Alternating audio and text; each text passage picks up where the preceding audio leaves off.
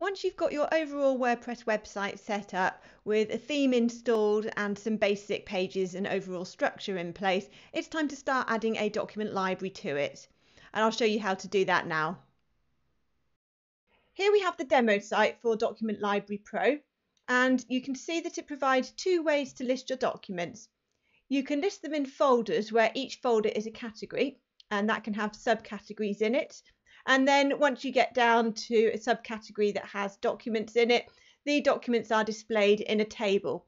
So there's various different information about each document and you can either have a text link, a button or a file type icon which people click on to download the actual document.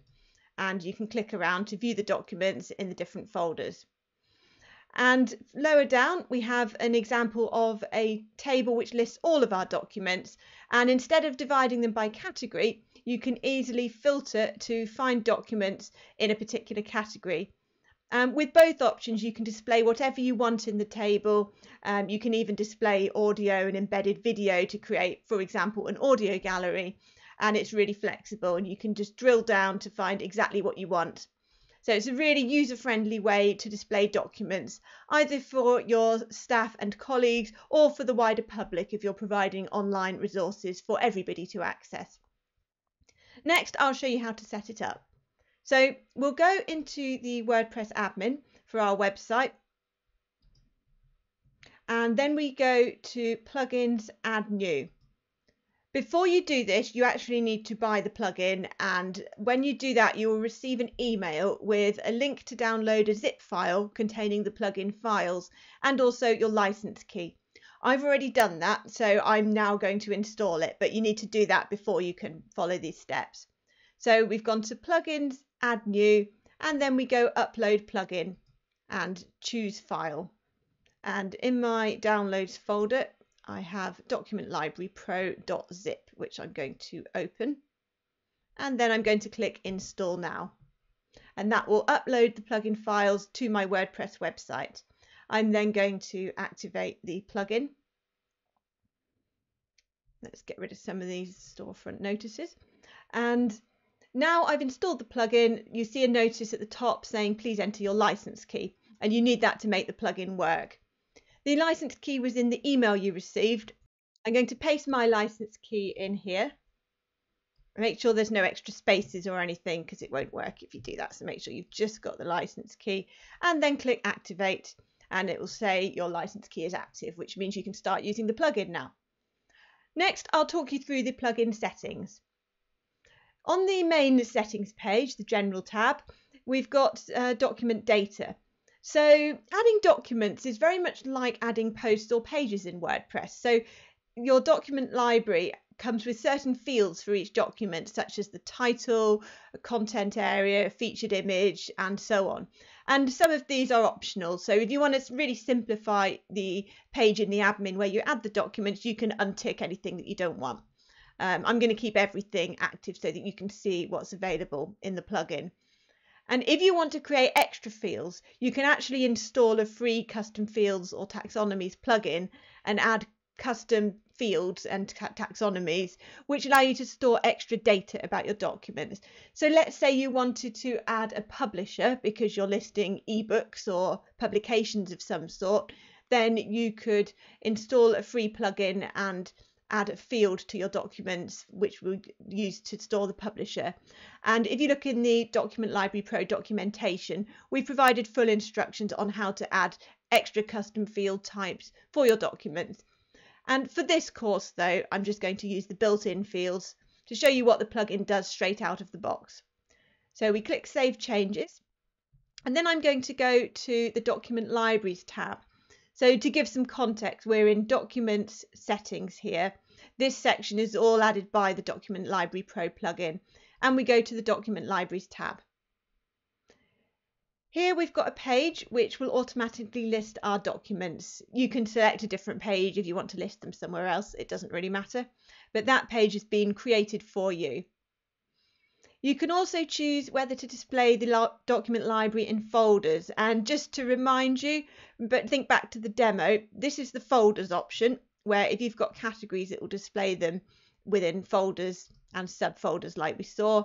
If you do not tick the folders option, then it will just be a simple table and you can add filters and so on as you choose. So that's the folders option. Um, I think I won't bother ticking that.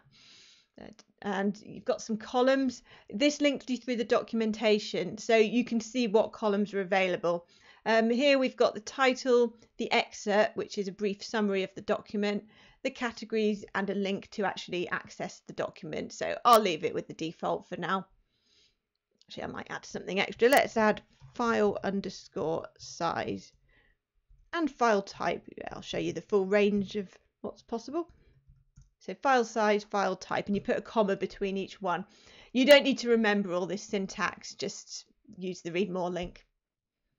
Image size, I'll skip through most of these because they're self-explanatory and I'll just focus on the ones that are particularly interesting for displaying documents. I'd say the most important settings are the document links because that's how people access your documents. Uh, you can have a button I'll show you the demo again. This is a button, obviously. And um, so if you want people to be able to click on a button, let's do it now. So I'm going to click download, and this is going to open a PDF, depending on my browser settings. If my web browser was set up to download PDFs automatically, then that would just download them to my computer. But because my PDFs are opening in a browser, I'd have to click download here. This is about the user's web browser and not the plugin. So back to the document library, I'm there.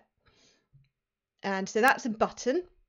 And we also have icons if we go back into this table. So this is an icon. So again, let's go into this spreadsheet. So I'm going to click on that. Oh yeah, it doesn't open because I can't open spreadsheets in my particular browser. So what I could have done then is to right click. Again, this is dependent on the user's browser. If you want something that everybody can open, I'd recommend PDFs. So back to the settings. So button is what we saw. Button, you have file type icon or a text link. And whether you have a button or a text link, you can actually change the text here.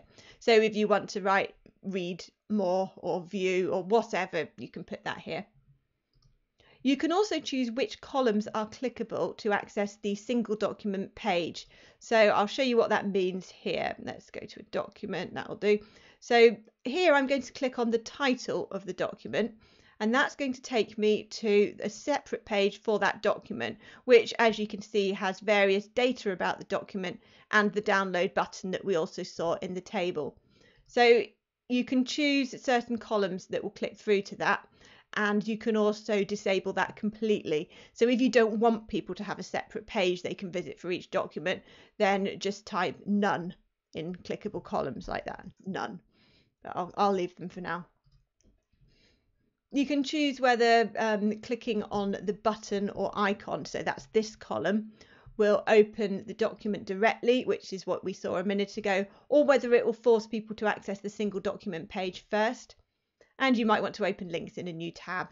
That's quite popular with document libraries if you want um, if you have lots of documents in each table on your site then you should enable lazy load because that prevents any performance problems. So it means you can literally list many thousands of documents without any uh, slow load times or anything. So lazy loads for if you've got lots of documents. I'll skip a few self-explanatory and we'll go to the filters. Filters are really useful because as we saw on the demo site where are they? There they are. You can have multiple filter drop downs above the document library, which people can use to very quickly find particular documents. So filters are great. Um, if you've got either categories or tags in your table as columns, then if that if you click show based on columns in table, then they will appear as filter drop downs as well. But I generally recommend using the custom option and you can just copy this here to make it easier. So even if you haven't got a categories column in your document library, you can have a categories filter. And again, if you add a comma and then tags, you can have tags as well. So um, if I would say, if you're not using the folders option, you probably want filters. If you are using the folders option, then it depends on how many documents are in each table. So you could have the filter drop downs above the table within each folder uh, if you want to. If, so if you've got hundreds within each category, then definitely add some filters to narrow it down by tags or whatever. Um, but if you've just got a small number, then don't bother. You can also choose whether or not to have the search box and so on. But I think for a document library, you'd normally use most of the default options. You can also customize the design of the document library. I'm not going to bother because it automatically adapts to suit your theme and looks good pretty much out of the box. But if you want to do things like add a colored um, header row to the document library or something like that, then you can do. So I'm going to leave it with the default and click Save Changes. So that is how to install the Document Library Pro plugin and set it up behind the scenes. In the next lesson, I'm going to show you how to actually start adding documents, either by adding them manually one by one or by importing them in bulk.